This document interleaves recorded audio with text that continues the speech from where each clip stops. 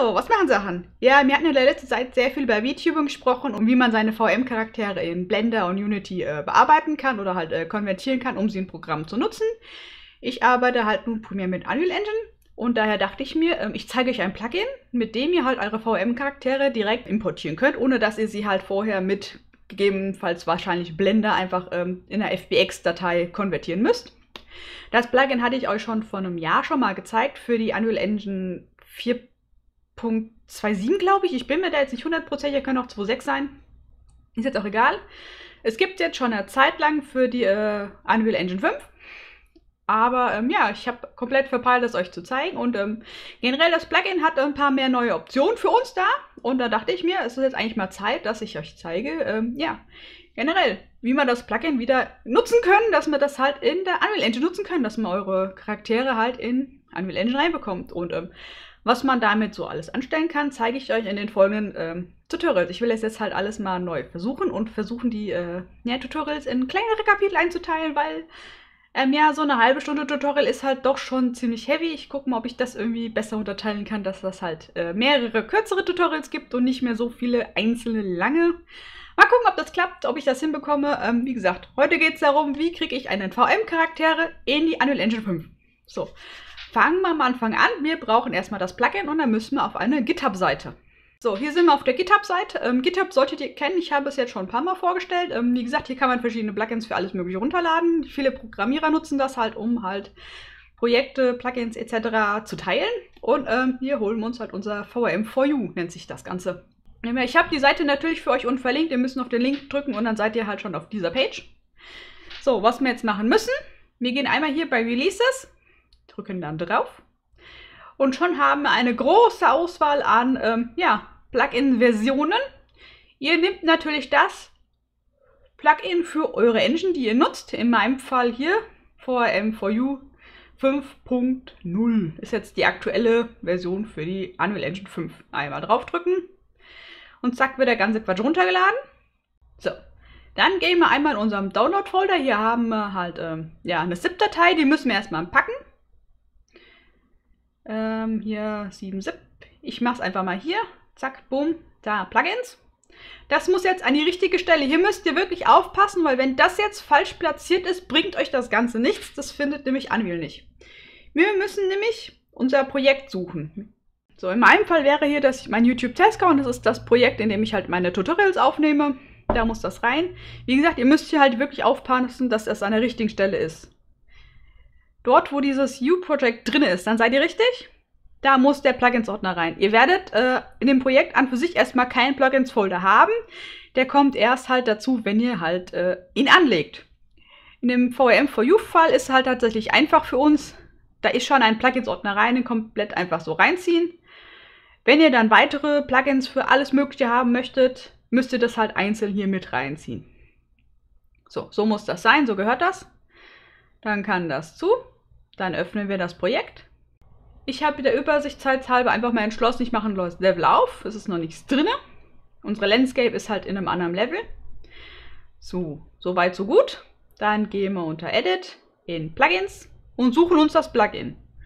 VM for you hier. Das müsst ihr einfach enablen, ist bei mir schon gemacht, weil ich es ja schon aktiviert habe.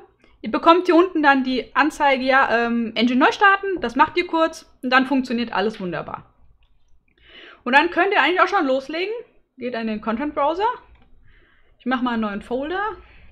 Und dort ziehen wir dann einfach unseren VM-Charakter rein. Ähm, wen nehmen wir denn mal? Ähm, wir nehmen mal den Jonas. Den nehme ich mal mit. Blöpp. Hier haben wir einmal den Importer, einfach die Optionen, die uns Unreal gibt. Was möchtet ihr jetzt eigentlich von dem Modell mitnehmen? Was soll ich euch anlegen? Ich zeige euch einfach so die Basics, die man für die meisten Sachen braucht. Es gibt natürlich auch spezielle Sachen, die man halt äh, anhaken muss oder nicht anhaken sollte, wenn man halt spezielle Sachen machen möchte.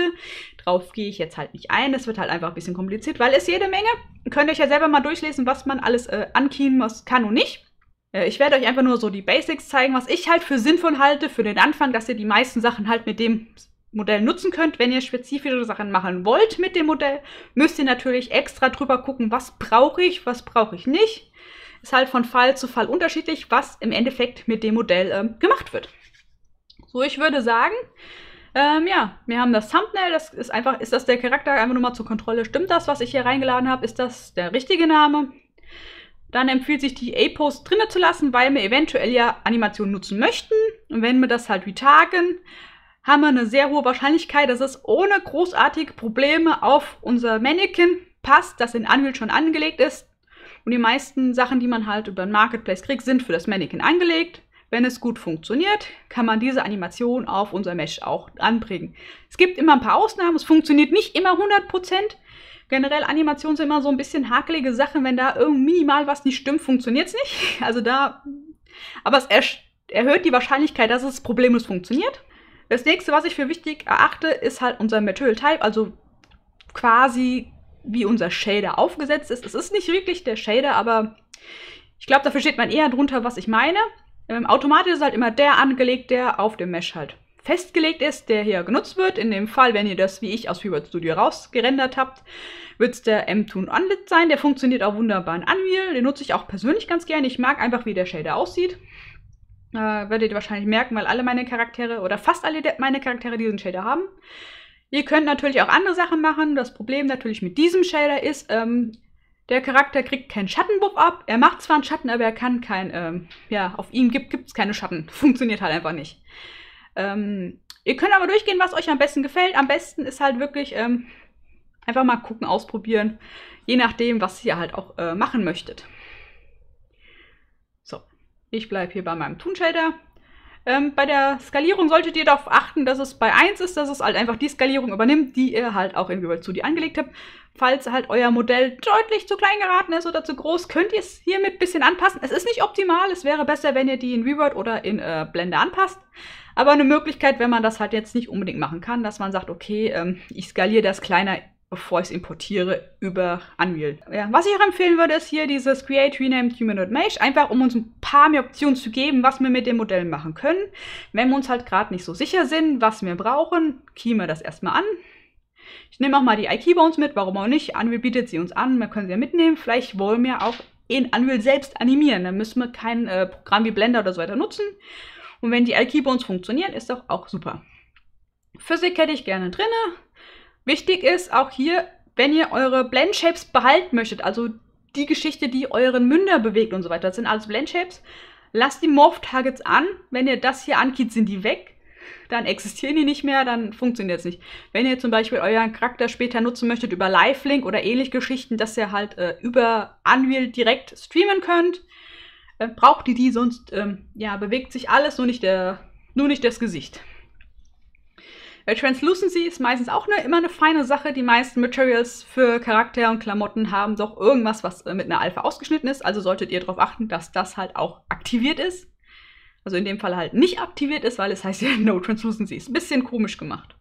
Ja, und das andere können wir erstmal so lassen. Wir haben ja auch ein paar Informationen. Skeletten kann auch hilfreich sein, wenn ihr mehrere Charaktere äh, reinladen möchtet, dass ihr halt einen reinlädt, komplett alles anpasst, dass das Skelett auch mit der Retopo funktioniert und dieses angefertigte Skelett könnt ihr dann halt, sofern alle anderen Charaktere sich die gleiche Struktur teilen, auch halt direkt hier importieren. Dann habt ihr euch ein bisschen Retopo gespart. Funktioniert meistens immer richtig gut.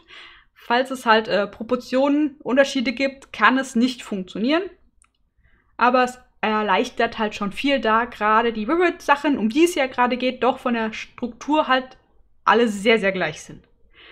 Und wir haben alles genommen, was wir brauchen. Einmal importieren. So, das Importieren an sich ging noch eigentlich recht zügig. Wir haben alles das, was wir halt brauchen. Wundert euch nicht, wenn ihr deutlich mehr Materials habt wie ich. Ich habe halt ähm, beim Rausrendern aus Visual Studio angeklickt, ja bitte mesh mir meine Materials zusammen, dann habe ich deutlich weniger. Werdet ihr wahrscheinlich nicht gemacht haben, ihr werdet ein paar mehr haben. Und dann können wir auch schon hier erstmal stupide das Modell an sich reinziehen und gucken. Sieht auch ganz gut aus. Ist alles da, wo es hingehört. Optisch passt das.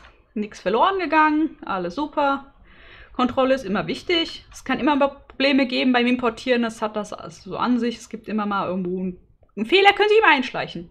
Und hier gestaltet sich dann halt der Vorteil, dass wir gesagt haben, wir möchten dieses Mesh duplizieren. Wir haben drei verschiedene Skeletal Meshes. Je nachdem, was wir nutzen möchten, was funktioniert, können wir uns dann halt eins aussuchen, was wir an unseren Jonas halt anlegen.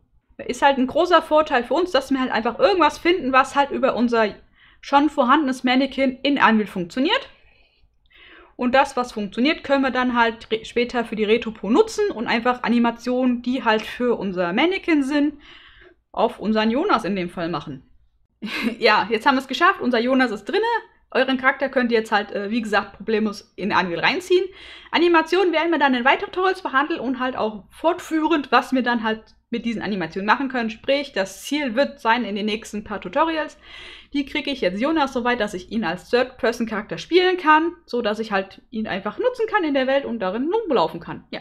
Ja, dann danke ich mich für eure Aufmerksamkeit. Ich hoffe, das ist ein bisschen angenehmer, wenn ich die Tutorials kürzer fasse und in kleinere Teile einteile, dafür öfters welche hochlade dass es dann halt für alle einfacher ist. Ja, dann ähm, ja, wäre Like und Abo ganz gerne da oder generell, ähm, wie findet ihr das, wenn ich die Tutorials halt einfach kürzer fasse, dafür halt mehr davon mache oder wollt ihr so ultra lange Dinger, die halt halbe Stunde und länger gehen? Ja, dann schreibt mal in die Kommentare und ähm, ja, wir sehen uns beim nächsten.